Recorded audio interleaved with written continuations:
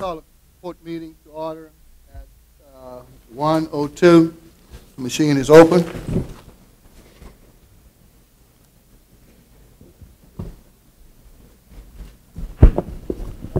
Let the minutes reflect, we have eight council members present. I can't see who's absent. Mr. Koknovich. Mr. Konovich, uh, Mr. Konovich is absent. At this time, we'll like to sign for the pledge with, at the prayer with Mr. LaFrance. You lead us in the prayer, please, sir. And Dr. Good, lead us in the pledge. We take this moment to acknowledge Almighty God and thank Him for our bountiful blessing, especially for the parish natural resources. We give thanks to God for our brave and courageous men and women in our military who daily risk their lives to protect our precious freedom. We pray that our world leaders to know how to obtain world peace. We pray that this government body, comprised of both council and administration, will always serve our parish with honesty, humility, and equal for all. And as this government body gathers today, we pray for wisdom to know right from wrong and the courage to do that which is right. This I pray in Jesus' mighty name, and all God's children say, Amen. Amen. Good. Allegiance To the flag of the United States of America, and to the republic for which it stands, one nation, under God, indivisible, with liberty and justice for all.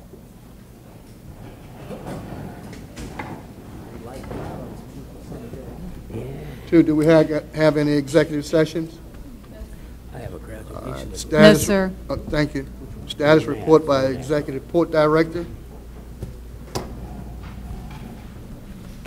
Good afternoon, Mr. Chairman and Vice Chairman, members of the board. I am Sandy Sanders, Executive Director for Plaquemines Port Harbor and Terminal District. Follows is my Executive Director's report for the reporting period of 10 through 23 May 2019. During this time frame, the Louisiana House of Representatives passed a supplemental pay bill for the port fire and rescue crews. It passed unanimously, and in the Senate, it passed unanimously in the Senate Revenue and Finance Committees. The next step is to put it up for a full vote by the Senate and subsequently to the governor for his signature. Members of the staff and board attended the C. Alvin Bertel Award Luncheon honoring posthumously Jimmy Baldwin. I cannot think of anyone more deserving than Jimmy for this honor. Previous recipients include U.S. senators, congressmen, mayors of New Orleans, and influential maritime leaders in the region.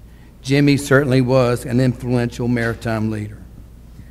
Lastly, this is Memorial Day weekend that began a few years after the Civil War, originally called Decoration Day, whereas family members decorated the grave sites of their fallen members. It became an official holiday in 1971, and the port would like to recognize the contribution made by fallen veterans who have given their lives in defense of our country. Mr. Chairman, subject to your questions or comments from you or the board, this concludes my report. Thank you. Any comments from the table? Mr. Russell? Yes, uh, I thought that perhaps today we were going to address the, uh, the news articles that y'all had prepared the response to, Yes, sir. and are you going to address that today? I am prepared to do that. Okay. I didn't know you want me to do it my executive director comments? Yeah. It's not on the agenda, so I would think that'd be an appropriate place. Okay. Yes, sir. I uh, went point for point uh, on the email that I received uh, regarding the questions from uh, the Mr. Dix article. Many of you have received this. So for the benefit of the, um, the uh, audience, uh, I will, I can read my responses. the article appeared probably about two, three weeks ago, and I was waiting to confer with the port assessor, the attorneys of the uh, other uh, signatories to the MOU, which were CPRA and Tallgrass. To preface it, the Plaquemines Port Harbor and Terminal District is the public entity involved in the Plaquemines Liquid Terminal project. Plaquemines Port is a political subdivision of the state and public corporation of the state. State laws 34 1351. The Plaquemines Parish Council is the sole governing authority of the Plaquemines Port and has the authority to approve the port's execution of the Plaquemines Liquid Project. In the Port, Plaquemines Port Master Plan initiated on 9 June of 2011, one of the major tasks given to the port to fully realize its potential was the acquisition of land in order to become a landlord port. Upon my arrival to the port, another stated task of the master plan, I began to pursue the purchasing of properties, the first of which occurred on 6 December of 2013. The first question had uh, three sub, two sub questions. Why didn't Plaquemines just have the PLT Plaquemines Liquid Terminal buy the land like in a normal industrial deal? 1A, what made Plaquemines want to get into the landlord business? Purchasing of the property for the Plaquemines Liquid Terminal project is consistent with the master plan as noted above and in line with the objective of the port being a landlord port a common business practice for maritime ports. The port, as a government agency, owns the land and then leases the land and or facilities to private tenants and customers. It is the same process used locally at the Port of New Orleans, Port of St. Bernard, the Port of South Louisiana, and the Port of Baton Rouge, which together with Plaquemines Port Harbor and Terminal District makes up the largest port system in the world. Also, on a national basis, the Port of New York, the Port of Los Angeles, Port of Houston, Port of Corpus Christi, Port of Miami, Port of Mobile, Port of Savannah, and many other similar examples also utilize this landlord business practice. Historically, large infrastructure projects have been funded by local, state, and federal dollars. But as these traditional funding sources have become more scarce, governments do not have the capital to invest. Alternative funding methods, financing methods, are now being used, such as what has now become known as public private partnerships, or P3s. In short, a public entity receives private funding to support the project, whereas in the past, the public entity received that funding from another governmental source. The Louisiana Department of Transportation and Development is currently working on its first infrastructure, P3, to fund the replacing of the Belle Chasse Bridge and Tunnel. The Plaquemines Liquid Terminal Project is a true public-private partnership between Plaquemines Port, which is the public, and Tallgrass-Drexel Hamilton, which is the private. The arrangement allows the private entity to develop a 20 million barrel storage and blending facility on the property while allowing the public entity to own the property and develop the remaining acreage, which is approximately 150 acres, and this is not inclusive of the mid-Barataria sediment diversion or of the 50-plus acres set aside for the conservation easement buffeting the Ironton community. Question 1B. Did Plaquemines do any research into what's fair market value for rent on the 2.5 billion oil terminal? Answer. Rents are based on local real estate markets which exist at the time of the lease agreement.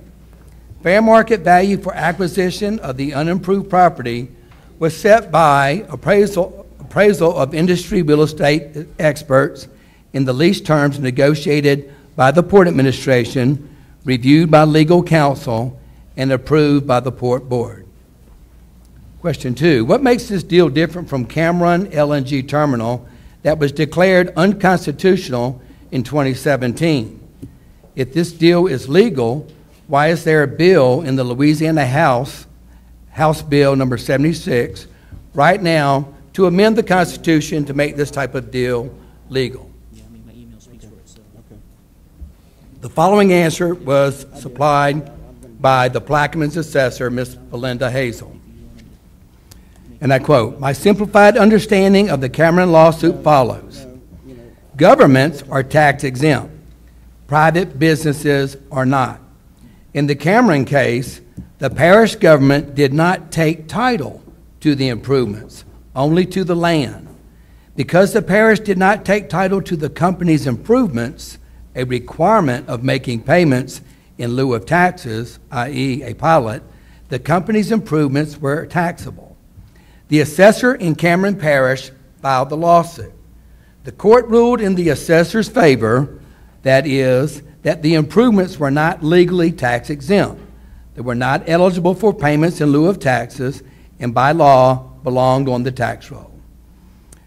It is my understanding, again, Ms. Hazel, it is my understanding that our port will take title to the PLT project components, owning both the land and improvements which meet the requirements of a pilot. Pilot payments are not illegal, and the Cameron case does not hold that such payments are illegal.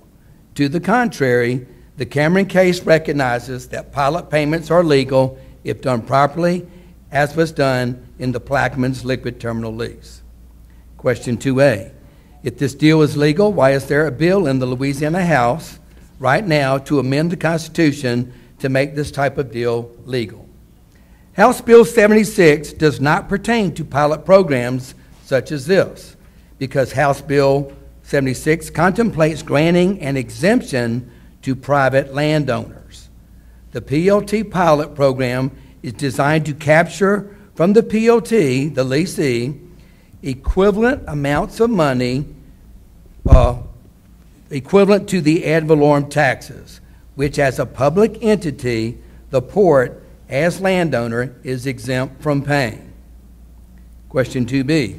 Will the parish be collecting property taxes on the property? Again, from assessor Belinda Hazel. No. The port is the owner of record for the property. Government entities are tax exempt and do not owe property taxes on any property they own. As per my, and she puts in quotations, non attorney understanding of lease agreements, the pilot program agreed upon by the port and POT are to be equal to the amount of ad valorem taxes that would have been assessed if the project site and project components were owned by the leasee, but these payments are payments in lieu of taxes, hence the pilot acronym. The, pil- the PLT pilot program sets aside an amount equal to the full ad valorem tax from day one. This payment is based on the annual millage rates and includes both the assessed value of the land and once built will include the future improvements to the land, i.e., the terminal valuation. A traditional ITEP program to attract development is not equal to a full ad valorem and is slowly escalated up from a reduced amount. The port understood from day one that when the property was purchased, it would be taken off the tax rolls as an exempt public entity owned property. To avoid any reduction of revenues, the port insisted that the private partners enter into a payment in lieu of taxes, again, the pilot program, that was equal to the full ad valorem. Prior to the property being acquired by the port, the ad valorem taxes received on this property were over $130,000. And upon the next reassessment cycle, this property will generate more than 200,000.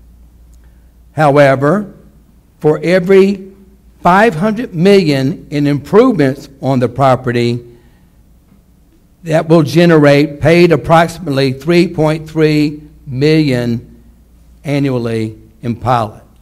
And it is estimated that the, uh, the, the land and the infrastructure will be close to? 2.2 billion. Right. Whole project would be 2 billion. So uh, when it's fully matured, this would be annually income to the parish or its taxing authorities in or around 12 million annually. Question three.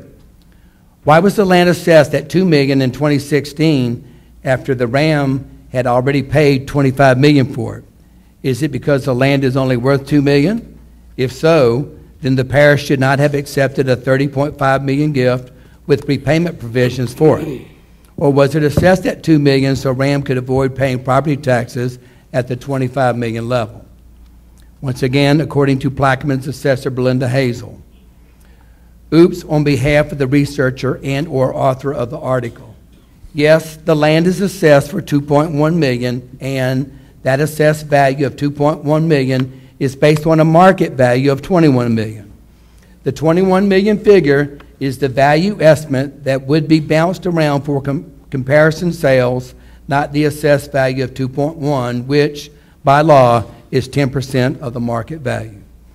In addition to the property, additional value included items previously paid for by the seller, including engineering and design, geotech investigations approved for wetland delineation, mitigation credits for eight acres, feasibility and pre-permitting studies. There's also been a reduction of inventory of large tracts upriver, such as the Formosa Petrochemical recently consumed 2,100 acres in the St. James Parish, and the reduction in these large inventory tracts on the river has resulted in the prices of these large tracts escalating. Question four. Is there a document that shows how the payments in lieu of taxes will be distributed by the port to the three taxing bodies, i.e., the parish council, the school board, and the sheriff? And where is this document? To date, the formal document outlining the funding distribution to the taxing bodies has not been finalized. The council, as the sole governing authority of the port, will decide during a public port meeting, port board meeting, how and when the money will be distributed. All pilot payments are deposited into and held in a separate port account for the purpose of distribution as approved by the council. How many permanent jobs will this project create? 25? Considering this is an out of state company moving out of state oil for sale outside of the state, what is Plaquemines getting out of further industrializing the parish and jeopardizing the property values of residences and small businesses? Industrialization has been terrible for small businesses and residential property values in places like Cameron and St. Parish, in St. James parishes. Answer. For the past 14 years, Plaquemines Parish has worked to rebuild areas of the parish that were destroyed by Hurricane Katrina with the goals to provide jobs, tax revenue, and repopulate communities such as Port Sulphur. We believe that projects such as Plaquemines Liquid Terminal fits in line with this objective with an anticipated 1,200 construct, construction jobs and 34 permanent jobs with an average salary ranging from 75 to $90,000. Our intent is to rebuild communities. What happens if, question six, what happens if, in accordance with section 4.1D of the lease agreement, the state takes hyphen buys the land it wants for the diversion, but it doesn't pay what the port paid for the land? Who makes up the difference? What happens if the state takes the land through eminent domain? The state, through the MOU signed by the port, the Tallgrass Energy, and CPRA, states that CPRA may request to buy the land from the port and the council as the and the council as the governing authority of the port will have to vote to sell the specific land. There is no specific timetable regarding when CPRA will ask to purchase the land. CPRA, as a public entity, is obligated to purchase the land at fair market value.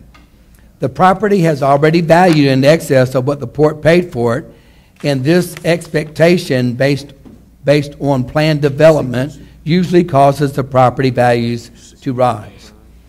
It is highly unlikely in the event that the fair market value of the property in the future is less than what the port paid. The council does not have to agree to sell the property. The state's right to expropriate property through the doctrine of eminent domain applies to private property. What happens to the land if PLT abandons the project?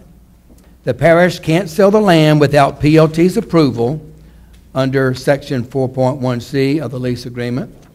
Does the land just sit there with nobody paying property taxes?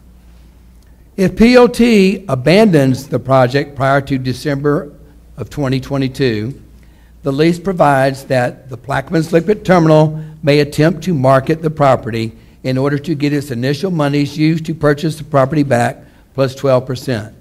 The port also has first right of refusal. If the port cannot be sold for a fair market price, the port and PLT will work together to attempt to lease the property with the lease payments used first to pay the PLT its in initial expense and plus the 12%. In no event is the port required to pay PLT any monies from port funds. So these are the responses to the questions that were asked on that article. Uh, Thank you for all of those responses. And I've been asked uh, specifically on question six. If the parish decides not to sell the property to CPRA for the diversion, then the parish actually has a veto to kill the diversion project?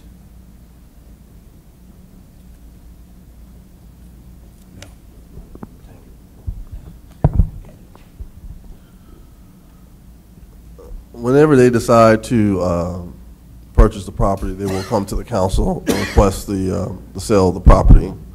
If for some reason this board, serving as the governing authority of the port, decides not to do so, um, the words, the statements that you made, that is not the statement of the port itself. So I, we cannot make that statement. It's not a statement, it's a question that I'm asking. Well, it's not a question we can answer, because you're making a statement, making an assumption, assumptive question that we cannot answer. So, Thank you for your non-answer. You know, I try to work with you guys, and I try to ask a legitimate question of questions that have been asked of me. And then when I ask a legitimate question, I get a dodge. And that's not uncommon for this discussion. But I understand you're saying that we don't know what's going to happen. But when you put this document together, and we all approved it, there's a lot of unknowns in here. And this is just a hypothetical situation that I've been asked. Does the parish council, by refusing to sell the property, have the veto on a diversion and can kill the project? Now, that's an answer, that's a question that you should ask CPRA, not the port staff, because we don't have that answer, because they make the decision where the diversion goes, not the port staff. thank you for your. So if you guys, if, if, if the council, serving as the governing authority of the port, when CPRA comes to ask for this particular land that they believe is best for the diversion, and the, the council serving as the governing authority agrees not to sell the land to them, then what happens next is a, is a answer, a, a question to be answered by CPRA and not the port staff. Because, because we do not take a position one way or the other on what happens to the diversion. And that's my understanding of your question. So I would ask you to direct that question to Chip Kline and the staff of CPRA.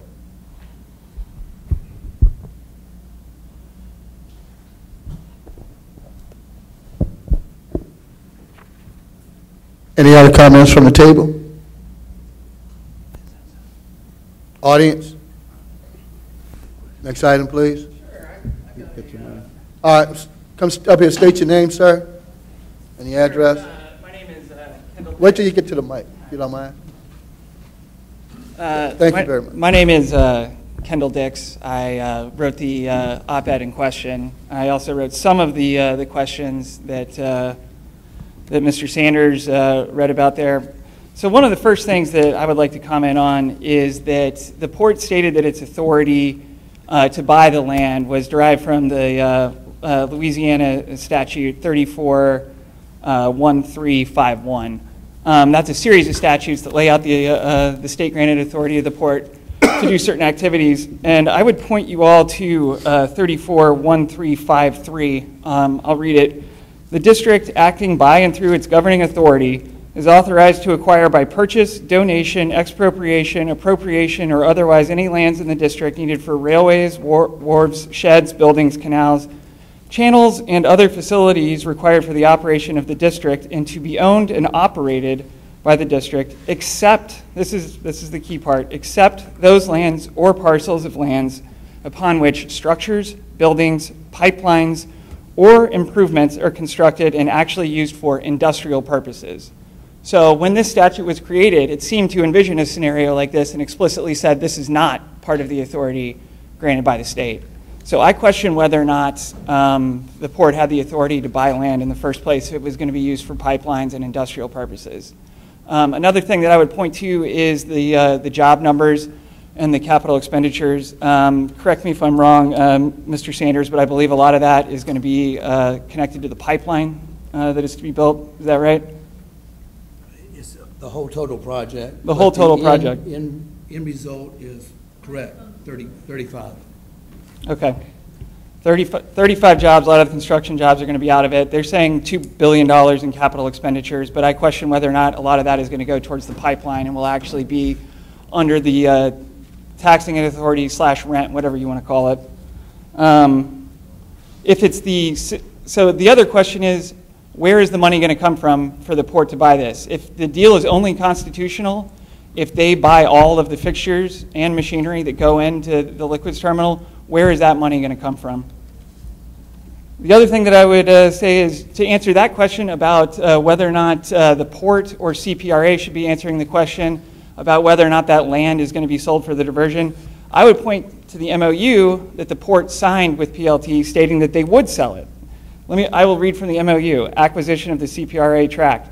CPRA has been granted the authority to acquire property for certain projects authorized pursuant to the master plan and enabling litigation. CPRA desires to purchase the CPRA tract and subject to the following sentence, PLT agrees to release the PPHTD and CPRA tract, and PPHTD agrees, subject to the approval of the council, acting as the sole governing authority to convey the CPR tra- CPRA tract by amicable, amicable sale or other form of transfer. Uh, it goes on from there, but more or less, I would say that you've already agreed to the sale. Um, then you have the only thing that's left really is a, a question again of how much it's going to be worth. Uh, the port is saying that if it's not the value that you guys want, that you don't have to sell it. But I would point to this memo saying that that's not factually accurate. Um, Again, going back to the, uh, the difference in assessed value versus, uh, versus market value, $21 million uh, was the assessed value for the land. It was still less than what uh, RAM paid for it. Again, in less than three years, um, that property value went up by uh, 50%. That's, uh, that is a rate of growth that I'm not really uh, too familiar with. I don't know what happened in those three years to make the price go up by $10 million. Um, but as far as I know, it's not listed in any of those uh, reasons in the port statement when it comes to engineering and all that, because at that point, the RAM project had more or less been abandoned. Um, Another point that I would uh, point to is that we've heard of several times that the council is the sole governing authority of the port, but it seems that there's some dispute there, seeing as that the parish and the port have agreed to go forward with some sort of lawsuit to determine who's actually in charge of the port. Um, I don't know if you all feel comfortable uh, with that or not. Um, One other thing that I wanted to point out with the job numbers is that we uh, see average salaries, and I feel like that number is often quite distorted. A lot of times you'll see uh, entry-level salaries, which are the bulk of um, the jobs that go out, being much lower, sometimes barely higher than minimum or living wage, with really top-heavy management salaries going to people that are outside the parish. Something else to look at. Um, I think that's uh, about it. If anyone has any questions, I'd be happy to answer them. Uh, I'm here. I'm a real person. Um, I just, you know, I'm. Go ahead. Mr. Matthews, you have some questions for you. Mr. Chairman, I appreciate the comments by Mr. Dix. Uh, Please excuse my voice, I'm I'm just not feeling well, I apologize. But in reference to Title 34, Section 1353, um, regarding the exception issue, the exception is that the port cannot expropriate property that's already being used for an industrial purpose, or or take property away that's already being used. So if there was an operation already going on on a particular property, and the port wanted to take it away to operate it for something else, the port legally, according to state law, cannot do that. And that is the exception that Mr. Dix is talking about, as it reads, except those lands or parcels and lands upon which structures, buildings, pipelines, or improvements are constructed, and actually used for industrial purposes. So if something was actually being used for that purpose, we could not expropriate, and I would uh, cite a case uh, with St. Bernard, and I think it was the Violet Dock, um, in which St. Bernard expropriated property that was already being used for an industrial purpose, and they sought to lease it to um, a tenant.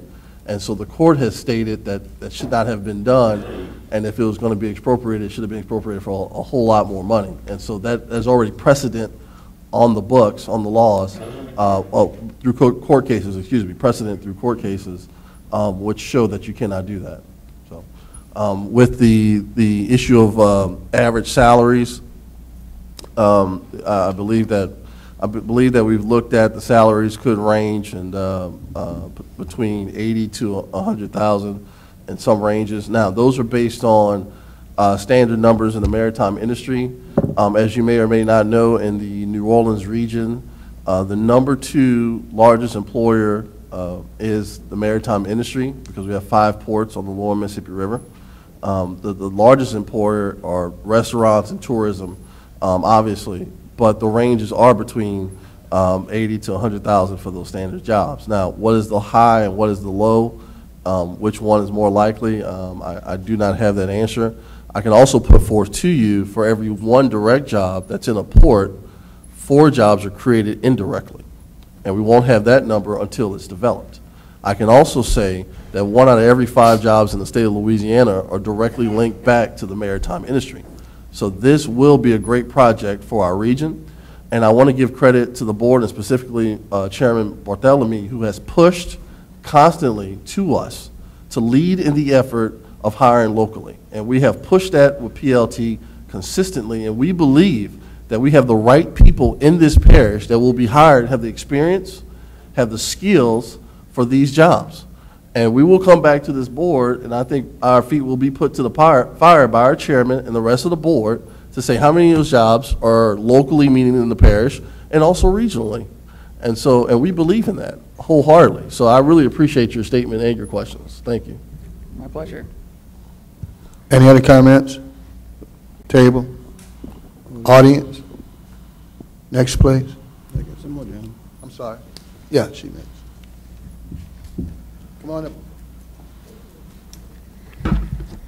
Good afternoon, Council. My name is Grace Morris. I'm an organizer with the Sierra Club.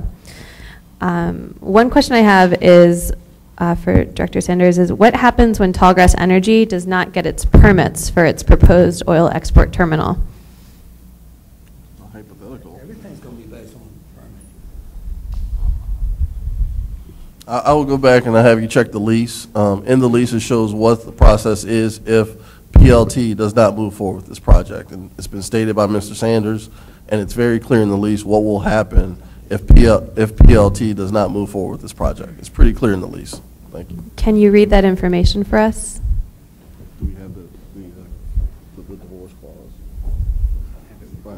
So It's, uh, I don't have it with me here, but the- the- you're asking specifically about the permit.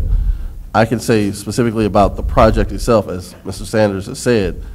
If they decide to not go through with the project, Mr. Sanders has clearly stated what happens. Now, I can provide you the, the lease agreement, we can provide a copy of it, and if you would like to come to our office, I can show you clearly and highlight for you, absolutely. I do not have it uh, in my hand, though.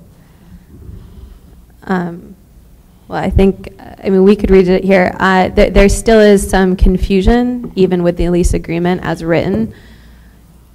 Who ultimately holds the risk and the liability for this project?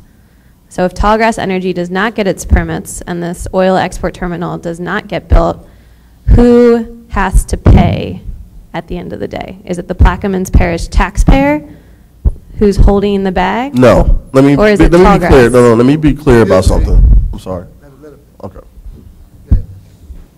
So is it the Plaquemines Parish taxpayer who's left holding the bag for this very risky, uneconomic project? Or is it Tallgrass Energy who is, is holding the risk and its shareholders? Well, let, let's be clear on something. The, um, I don't accept the, the the question in that it's, it's, there's no risk to the taxpayer because the taxpayer is not involved in this, this process, okay? So the port, which is a state entity who operates by tariff revenues, not from tax dollars, is in agreement with uh, Plaquemines Liquid Terminals, which is a joint venture between Tallgrass and Drexel Hamilton. If the, uh, if Tallgrass deems that this is not viable, and they have till 2022 to deem that, then the port, which is a state en- entity, and Tallgrass will work together to commercialize the property with other leases, period. If past that time, they walk away from it, then hey, the port has no risk whatsoever. The parish taxpayer has no risk whatsoever. As a matter of fact, if this operation gets developed, the permits happen, and all the good things about the lease happen, then we'll be seeing millions and millions of dollars coming to the, to the, um, in a pilot payment to parish government as the council sees fit to dole it out.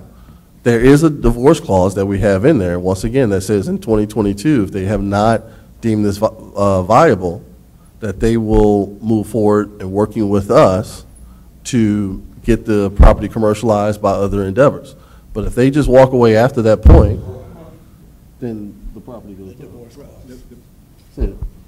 Say it, say it. Yeah.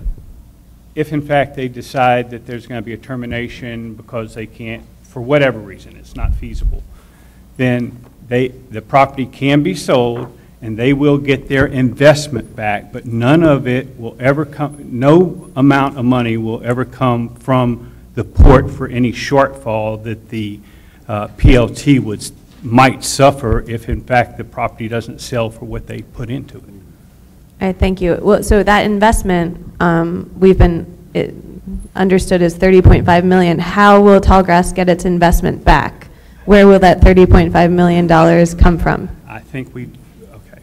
To repeat, it will either, there will either be leasing of the property to, to commercial owners, and they'll get the proceeds from the lease until they're made whole again, or alternatively, the property will be sold. So the property will be sold, and the proceeds from that sale of the property would go back to uh, PLT to the extent they paid the $30.5 million.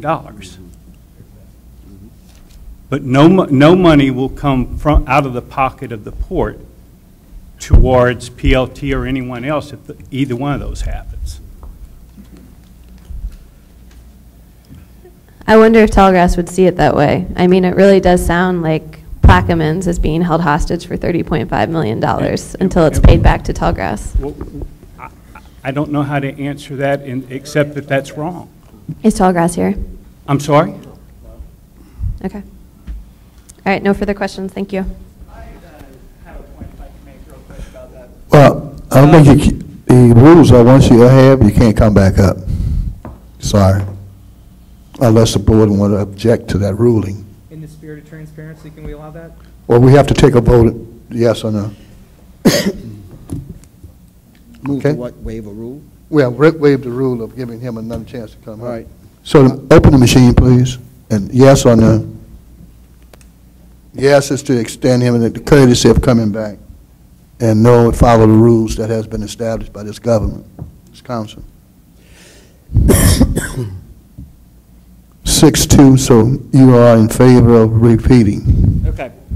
So um, there's a question there about whether or not the taxpayers uh, would be harmed there by um, the lack of sale. And I would argue that since uh, the port has now taken ownership of the land, um, if, so again, this provision in 4.1C uh, survives the termination of the agreement. So this property is encumbered forever. Um, and uh, Tallgrass, or I mean PLT, has the final say over whether or not it's going to be sold or not. So in theory, if it can't, if you can't sell or lease it, it just sits there not collecting taxes until you find someone that does. And seeing as how you were collecting taxes before it, again, and that I think it was 130,000 a year or something like that, that is $130,000 a year harm to the taxpayers. Again, I would point to 4.1D that if CPRA doesn't give you the money for the investment minus 12%, it is absolutely written in there that the, that uh, Tallgrass or PLT is going to be made whole. That's going to come from the taxpayers. But you guys are just insistent that you're going to get your money, but there's no guarantee. All right, which, which, can we talk about which part? Continue on the, uh, your statement. Okay, uh, maybe I'll just read, should I read the provision? Okay. In the event that lessee determines it is required to use less than all of the project site for the project as of the FID date, or a release of the portion of the project site is necessary with respect to Louisiana CPRA and its comprehensive master plan, this is the exact scenario that we're talking about here, the lessee shall promptly release such a portion of the site from, from this agreement. That's uh, PLT. In such event, lessor, and that's the port, and lessee, PLT, shall execute a written agreement, written amendment to this agreement providing therefore, the lessor, the port, shall not permit any activities or any portion of the property not included in the project site or released from the project site that materially interferes with the construction, operation, or maintenance of the project or create completion with the project. That's uh, the uh, liquids terminal. In the event the lessor, or the port, sells or leases any of the portion of the property not included in the project site or released from the project site, the lessor, or the port, agrees to repay or cause the developer of such site to repay, that could be CPRA, the lessee, PLT, a proportional amount of the lessee investment plus or minus 12% from the proceeds of the sale or lease. Provided that if the proceeds from a sale are insufficient to repay the lessee investment minus 12%, the lessor, that's the port, shall be required to pay any shortfall. Again, this survives the expiration or termination of this agreement. So when it says that the port shall be required to pay any shortfall, how is that wrong? Okay, so you, so we have an agreement in place, as you have seen consistently, and as Mr. um, Sanders has stated, that, uh, has shown that the property has increased over time, the value of the property. The port paid for the property for less than what it was deemed worth. Now, the anticipation is that the port is going to develop this property along with PLT, and the value will rise based on the improvements that are on the property. And then, P- and then CPRA at some point will come in and seek to uh, buy the land. Now, just a thought that when people improve property, the value goes up. That is the anticipation, and the, the value will go up. And so let's say if the, the property that was purchased, just for safe numbers, was, um, was uh, $5. And so now you add the 12% value in there, the port or the developer, right, will then um, pay the 12%. Well, we anticipate that the price would be able to handle that 12% mark. The idea is that if something drastically happens to where the value of the property significantly goes down, which is not going to happen, we do not anticipate, nor does PLT anticipate, that happening. Furthermore, the question regarding just letting the property sit there, no one who's going to spend $30 million and not going to do anything with it wants the property to sit there and not make any money. So it will look to lease the property out or sell it so they can get their money back. That's simple business practices. And your position about the taxpayers paying it back, the port does not receive funds from the taxpayers to operate. So that is just exactly just not true. So I, so I disagree with the basis of your argument, sir. Does property value ever go down? Excuse, excuse me, we, we're not gonna continue to have a, a dialogue back and forth. You stated your objective, you stated your concern, and he answered it. So unless you have something else, we're gonna just move to the next person that may have a question. Now, what I suggest, it's a strong evidence, if you wanna have a dialogue, we can set up a meeting with the port, or either put it on the agenda for a discussion till it's done, till Will it's, that, will that be, uh, discussion be made available to the public? you can have it at the next meeting, request to be placed on the agenda for discussion, if you so desire. If, if I'm the one that has to ask the questions, then yeah, I'll do that. All right. So just send a, a letter of request in to do that, to make sure we have it from your request, and we can put it on the agenda. I will do that. All right, thank you, sir. Anyone else in the audience? I, I just have one follow-up. Go ahead, Uh, Mr. Rousselle. How do you rectify what he say, he read concerning the purchase of the property, the statements that are made in there for the diversion and CPR's H? How do you, uh, What what particular part, sir? the part that he stated that uh, the port agreed to sell, that they would, or make the sale available for uh, the diversion. It's subject to council approval. But you, a minute ago, never mind, wasting my time with you.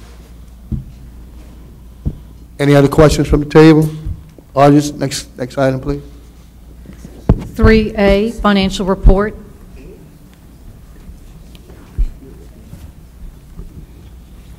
Financial report.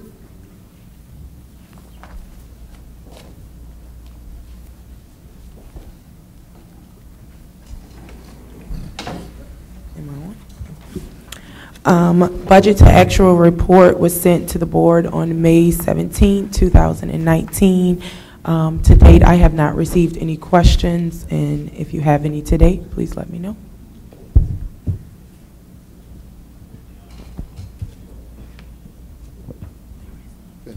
Any comments from the table? Audience? Next item, please. Bids and advertisements. Have any? None? Next item. Number five, introduction of ordinances and resolutions. I have one. A resolution authorizing the Port Executive Director, Mr. Bernard J. Sanders, for and on behalf of Plaquemine Parish Port Harbor Terminal District to name and accept a proposal of Plaquemine Gazette as the official journal for Plaquemine Parish uh, Council and as the sole governing authority of Plaquemine Parish Port Harbor and Terminal District, and otherwise to provide with respect thereto. That's all I have. Any, uh, Anybody else? I have one. Mr. Russell? Yes, a resolution rescinding a resolution adopted June 28, 2018, in connection with a preliminary agreement between the Plaquemines Port Harbor and Terminal District and Plaquemines Liquid Terminals LLC to finance acquiring land and constructing dock, wharf, and all rail improvements, pipeline and pumping infrastructure, blending, storage, facility improvements, and any additional improvements related thereto, but retaining the right to reimburse Plaquemines Liquid Terminal LLC with proceeds of limited obligation revenue bonds in the future and providing for other matters in connection with the foregoing. Mr. Black? Ms. Newberry? France? None.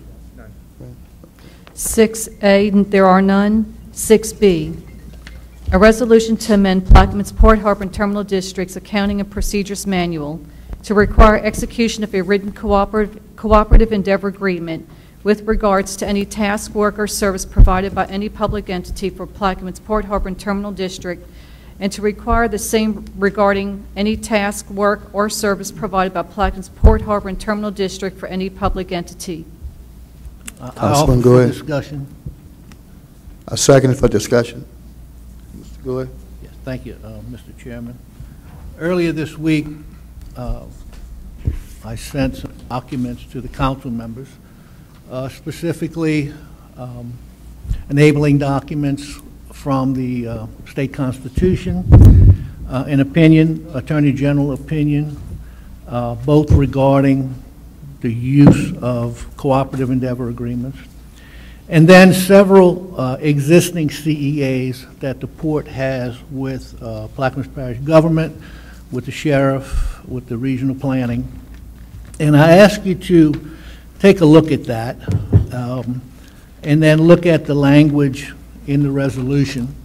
And next week, I'll, I'll, I- I will call each and speak with each of the council members to see what your opinion is going to be, and whether or not uh, this should be taken up as a, uh, as an item now, or is it something that we should take up in the future? Uh, My personal feeling is that this board is required to direct the port staff and administration in their duties and responsibilities that are not already covered by, um, uh, through legal avenues. And uh, even though the port has been very diligent in their uh, execution of CEAs in the past, uh, I could find nothing in the procedure man, procedures uh, manual that was a directive from the board to engage in CEAs. And so the language here is a very simple um, uh, statement that the port staff shall do so. And of course, any CEA that is proposed would have to be approved by this board. Um, I'll leave with that, um, and I will be uh, discussing it with you, see what your, what your thoughts are, uh, and uh, make a decision whether to uh, vote on it, um, if I feel we should vote on it next time or withdraw it. So I'll leave with that, but uh, the floor is open, Mr. Chair. Mr. Rousselle? Uh, Yes, uh, thank you, Dr. Gouy, for providing the documents that you uh, sent to us during the week, and I did have a chance to review them. And, uh, you know, I've come to pretty much a a conclusion from the documents. For instance, the opinion 080285 is uh, an opinion that deals with private entities. And if you look at what you highlighted, Uh, I I read the documents that Dr. Gouy sent to us in justification of uh, this resolution. I- First of all, I believe the resolution should wait until after the court case is completed, so we can have an understanding of what cooperative endeavor agreements that we need to enter into. We do need to enter into cooperative endeavor agreements at the right time. This resolution is all-encompassing and covers the waterfront, and I don't believe that that's the position that we should be taking at this time prior to the lawsuit. But the supporting documents, for instance, uh, the opinion 08-2085, uh, is an opinion from the Attorney General that really applies to private entities when government gives private entities funding. And they recommend that you do the cooperative to cooperative endeavor agreement with that private entity, as it states right here. Uh, Thus, we believe that in order to establish that a public purpose exists and to show the expenditure of public funds was non-gratuitous and constitutionally authorized, there must be some documentation of the agreement between the political subdivision expending the public funds and the private entity receiving them, which, at the heart of my problem is the port and the council, which we are litigating. And this resolution covers the waterfront, which mandates that we have to have that. Even if you look at the syllabus on the top of the Attorney General's opinion, it says, "Public funds may be spent even if the expenditure does not fall within the exception in 14B or is not in a cooperative endeavor agreement pursuant to 14C, so long as the public entity is able to establish that the expenditure meets all three prongs of the Cabela case." So we're in the courts litigating this now, and that's why I think that this is ripe to wait. Now, for instance, the sheriff cooperative endeavor agreement. I believe that since we are not the sole governing authority of the sheriff's office, we should enter into a cooperative endeavor, uh, endeavor agreement if we're going to share our resources and so forth.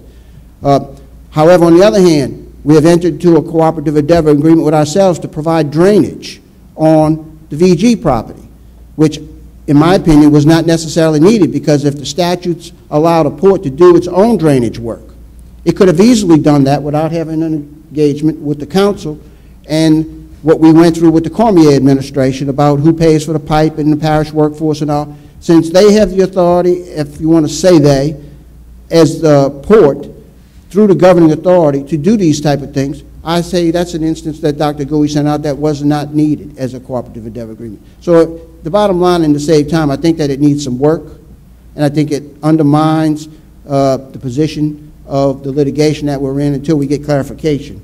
So, having said that, uh, I would hope that you all would read the documents that you were forwarded and get a thorough understanding of them to be able to understand what the argument really is. And I'm not opposed to cooperative endeavor agreements. When they're needed, they're needed, but the resolution is, again, closing, um, it covers the waterfront. Thank you, Councilman. Any other comments from the table? Audience? Yeah, m- my question was, State, uh, give us your address and your name. right? Huh? State your address and your, and your. re- uh, your name. Reverend Tyrone Everett, downtown Phoenix, 112 Thomas Lane. Thank you, Uh, sir. uh, The legal case that you're talking about, is this, this legal case going to talk about the, the role and authority between the parish council and the port authority? Is- Would that be addressed in that? Well, uh, the heart of the case is the fact that the audit committee audited the port. And the results of that audit exposed a violation of the Constitution. However, the port has taken a position now that we have violated the Constitution by auditing them and not having an agreement and them paying us. And when I try to explain that to people in the public, they scratch their head and kind of wonder how silly that really is. But it is an issue, and now that we have the votes that have passed this and put it in the court, that's the issue that we're going to be litigating. Okay. The reason why I brought it up because uh, as the public, the public is really very confused about the relationship between the Port and the parish authority because most people in the parish believe, uh, think that it should be, but the Pope is the home of the parish government and the parish government is over the Pope. But there's some people feel there's a different opinion on people in terms of who really control the Pope. Uh, because one of the things that made when the young man was talking, and, and my friend next to me said that you don't get any taxpayer dollars, but if the Pope is under the parish government, then that is the taxpayer's dollars, the mere fact that it's under the parish government. So I, I just think that, Mr. Bartholomew, that when he had this hearing that the young man was talking about, maybe something need to be, a hearing need to be in place so that the public could really, because the relationship between the parish government and the Pope been confusing for a long time because I remember when some years ago when the councilman Judge Connor was here, the parish attorney, council attorney, they created this committee, and this committee ended up becoming a commission. And from that point on, it's been uh, some contentions about this port authority ever since then. Really, before uh, Mr. Sanders got here, that's been a really issue. And so I'm still confused, like a lot of other public people, you know, is the port a part of the parish government or its own private entity? That's the question that people in the community Well, still don't understand. Uh, Let me just say this, that uh, there's a lot of issues that are laying there underneath the surface. For instance, the pilot program that they just referred to does not go to the government, it goes to the port. And the port has to decide what to do with that. It just so happens that the nine members up here are the governing authority of the port. And in their argument about meeting the test of non-donation of public funds, the port will have to make an agreement with those taxing bodies to show that it meets the Cabela test, that they are going to be able to provide a service up and abo- above what they are providing now to be able to get paid for that. So, you know, they are arguing, but they also are taking the position that uh, we can't distribute that fund unless it meets those tests. So it is confusing. However, as you had stated, in the past, the government subsidized this port to the tune of millions and millions of dollars out of its general fund. So that's taxpayer dollars. That's, what's, that's the history of it. Now, they wouldn't be sitting where they are today had it not been for this government propping up this port and nurturing it along to grow into an entity that has revenues now that can support itself. And so, you know, people forget the history of it, but that's what really happened and how this port got to be grown. And not to mention the fact that all of the security fees that have been coming along since the 911 situation has really filled the coffers. And now with the land purchase and the rents, it fills the coffers even more.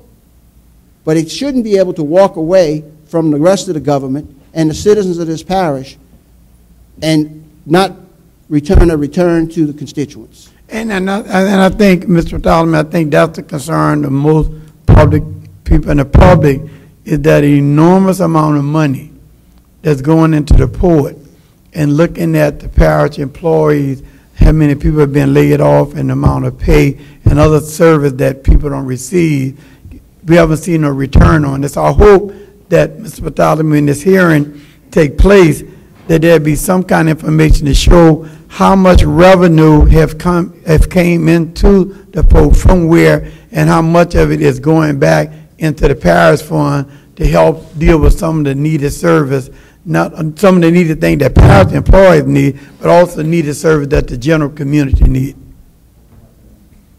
Any other comments from the audience? Don Beshel, 8603 Highway 39, Braithwaite. One correction, the people of Plaquemines Parish do get taxed one time by the port. There was a millage passed at one time, and we did pay into the port, and it could happen again. So, thank you. Thank you for that comment, because I forgot about that, but I shouldn't have. Any other comments? Hearing, next item, please. Number 7A, there We're are going to none. defer, uh, we should- we said it was just for discussion, so.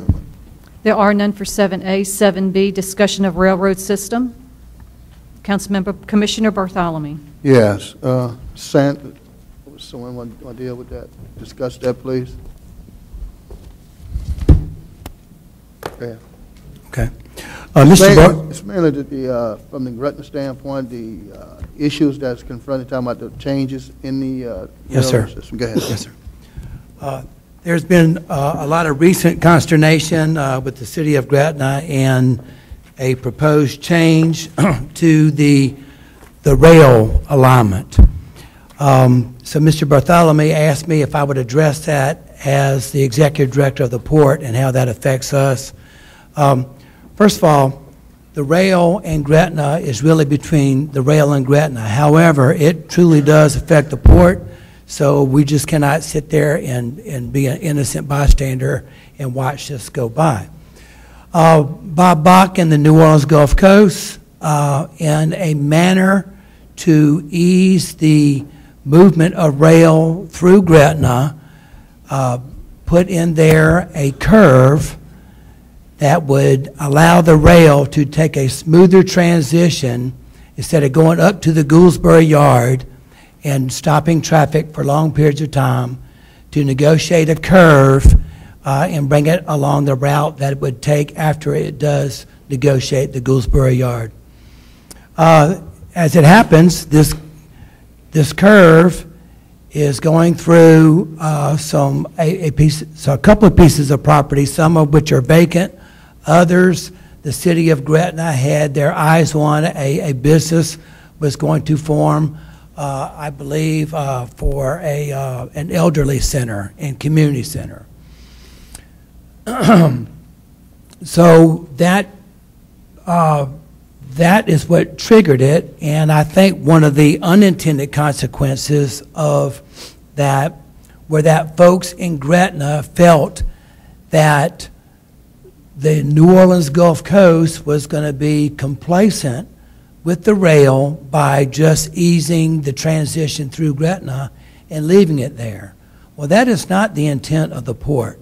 The intent of the port has always been to utilize the existing rail, but ultimately, the rail will come, uh, uh, come from Avondale and then do a 90-degree turn and come down the Harvey Canal, and it will parallel the new Peters Road. It will come across the Intercoastal Canal, wrap around the south side of the Naval Air Station, and then tie into the existing rail that uh, follows the signature of the river. That has always been our intent. Um, even though the curve in Gretna would smooth uh, the negotiated rail through Gretna, that is not uh, a do or die for the Port of Plaquemines. So I have uh, uh, contacted Bob Bach, and I told him that that's, that's not necessary for us. It might help y'all out, but to uh, ensure that he is not saying that the port needs this. I've also written a letter, I've written a letter to um, Belinda Constant, the mayor of Gretna, expressing the same thing to her.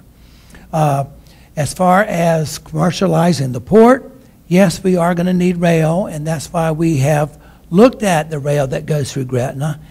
And the existing rail is not going to be able to put the port to where it needs to be. So the project of going around the Naval Air Station was one that they already had on the drawing board, uh, and it's one that I fully uh, embrace. Thank you, Mr. Sanders. General. Uh, Any comments from the table? Mr. Rousselle? Do you do you know what the schedule is on the environmental uh, clearance for the relocation of the rail and the status of that project? The the EIS is completed. Now they're looking at the rights-of-ways. And then uh, the new legislation that was popped up in Baton Rouge for the environmental impacts that this Yeah. curve puts in, do you know what Uh, the status of Thank you. I was going to mention that. Uh, Yes, uh, Gretna uh, also stated, and they got um, a bill or uh, a a resolution, yeah, in the, in the state legislature that if they were going to make changes, i.e. this curve, then they wanted to have public hearings. Uh, I told Bob Bach, this is not the hill to die on, you know, it's- and it's not. And uh, we need to uh, continue to work with Gretna and Jefferson Parish to reassure them that our original wish list requirement was to stick with the original plan, come down Harvey, and, um, and go across the, uh, the intercoastal canal.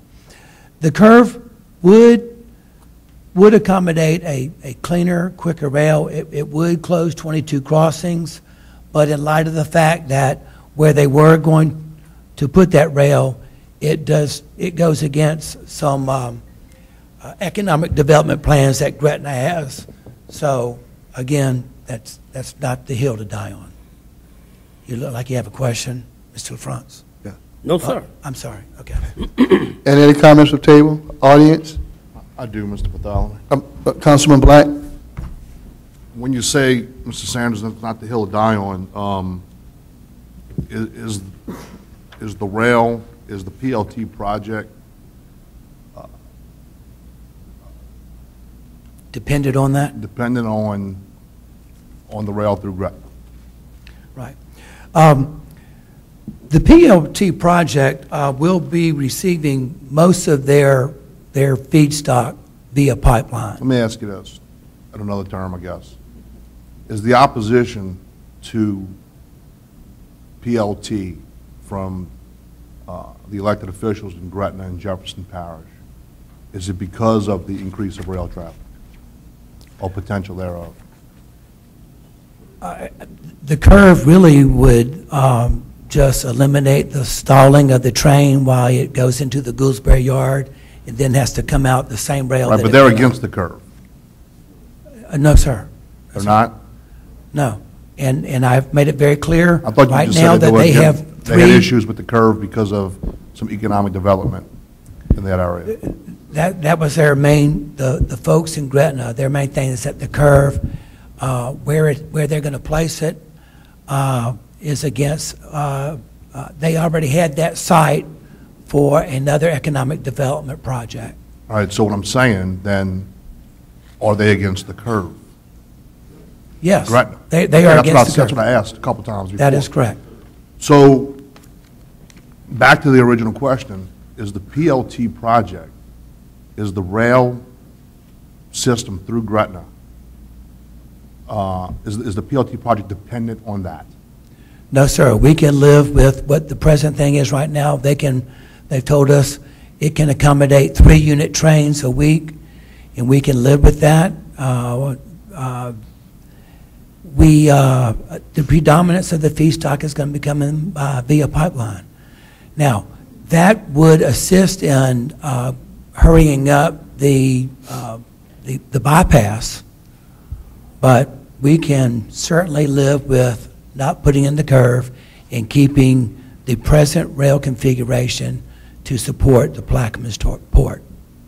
So, just to be clear, in your conversations with the city of Gretna, whether it be the council, the mayor, Jefferson Parish, whether it be the council, the president, uh, as well as the state rep in Jefferson Parish in that area, you're comfortable to say that they're in support of PLT?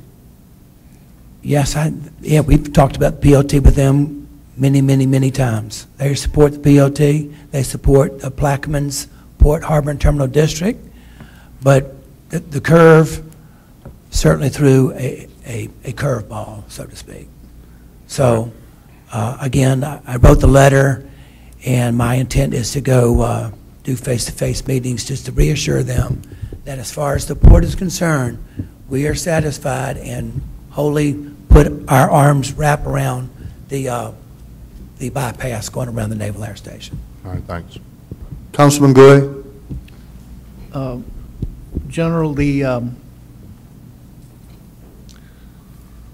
our primary focus has always been the bypass. Has always been to bypass that rail, get it out of Belle Chasse, Gretna, move it through the corridor. Is there a concern from the Gretna folks that this curve will satisfy the needs of the rail so that the bypass would be put way on the back burner. I, th- I think that was an unintended consequence. They thought that they were going to get comfortable with the curve. Uh, it would increase the, the velocity through Gretna. And, um, and, and that's, that's probably a normal thing for them to think. They've been wanting that rail out of Gretna. We've been wanting it out of, out of Belle Chasse. And so I don't want it to, folks to think we're, we're going to get comfortable with that.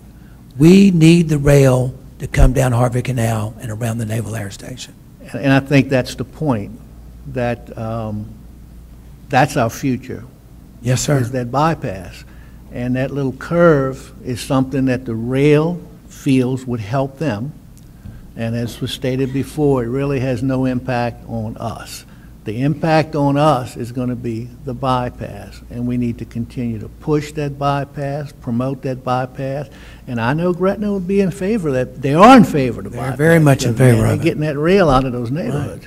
And the folks in, in our parish are in favor of it, because I'm- I can get it out of Belle Chasse. Thank you, sir. Yes, sir. Any other comments from the table? Audience?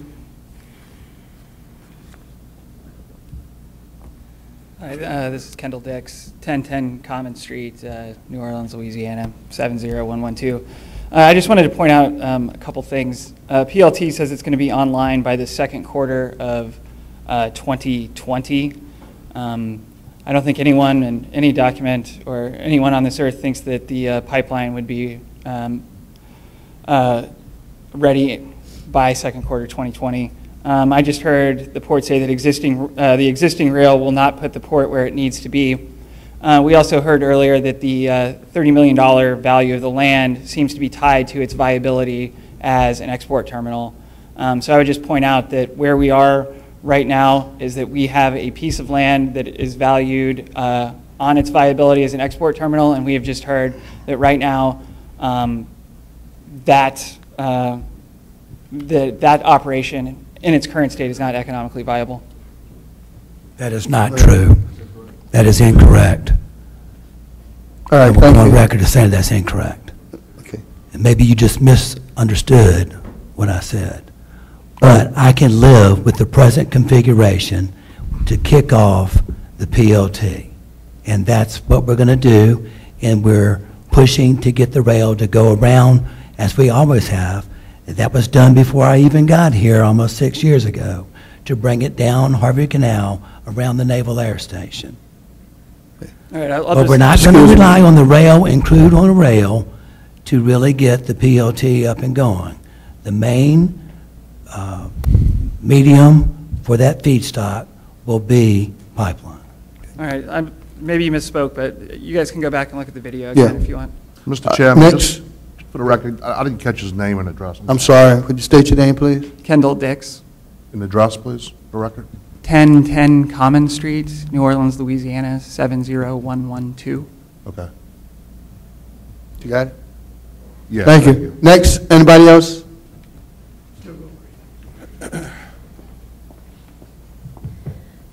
Grace Morris with the Sierra Club um, in New Orleans, 76, oh, 716 Adams Street. Excuse me, could you take your time and present your name and your address so everyone can hear you? Grace. Morris with the Sierra Club. Grace Morris with the Sierra Club um, in New Orleans, 716 Adams Street. Uh, So we have been hearing about this rail relocation proposal for a long time. Gretna doesn't buy it. I know that um, there's a lot of hope that it'll happen. Um, And my question is, who's going to pay for that rail relocation? Um, We know that the rail applied for a federal Tiger Grant Fund um, and was denied on economic justification back in 2008. And so, you know, um, are y'all saying that you think that's going to happen? Uh, It seems there's conflicting accounts that it will happen, um, but and if, if you're saying that it will happen, where's the money? Who's going to pay for that? And has the port or the parish um, been reapplying for, for grants? Um, And if it's not going to happen, um, then that site doesn't need to be the site of an oil export terminal. I can answer Thank that, you. Mr. Chairman. Yes, Mr. And those are good questions. Director. Those are really good questions. I, I have private money that is waiting to be invested in this. They are waiting for it to get kicked off on a commercialization. I cannot talk, tell you who they are, but you will, you will know soon. Uh, We are going to take advantage of uh, any low-interest loans that are there, but for the predominance of that bypass, it is going to be private funding. But again, those are good, good questions and good concerns. Yeah. Thank you. Any other comments from the floor? Next item, please. Number eight, approval of the May 9th, 2019 meeting minutes. All first, a second? Second by Ms. Albrook. Machine is open.